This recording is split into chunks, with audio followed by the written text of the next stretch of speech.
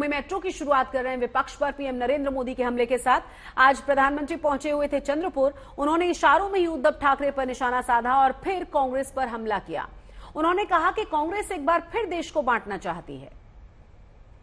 एक और भाजपा एनडीए है, जिसका ध्येय है देश के लिए कड़े फैसले लो।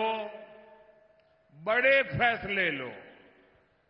दूसरी ओर, कांग्रेस और इंडी गठबंधन है, जिसका मंत्र है, जहाँ भी सत्ता पाओ, खूब मलाई खाओ। इन लोगों ने जलयुक्त शिवार योजना बंद कर दी।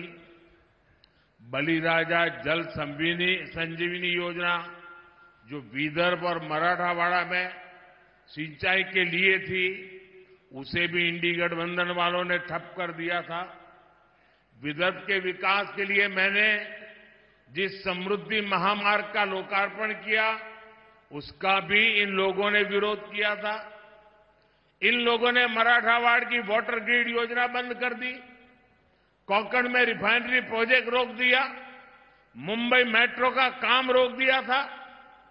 यहाँ तक कि पीएम आवास के लिए केंद्र से पैसा आने के बावजूद इन्होंने गरीबों को घर देना बंद कर दिया था इनका लक्ष्य एक ही था, कमीशन लाओ या काम पर ब्रेक लगाओ। कांग्रेस खुलकर बांटो और राज करो के खेल पर उतर आई है।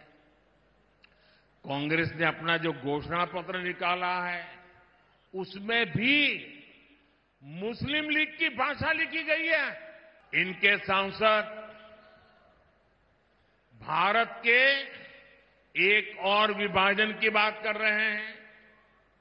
इंडिया अलायंस के लोग दक्षिण भारत को अलग करने की धमकी दे रहे हैं। इंडिया अलायंस में शामिल डीएमके पार्टी सनातन को डेंगू, मलेरिया कहकर उसके खात्मे की बात करती है।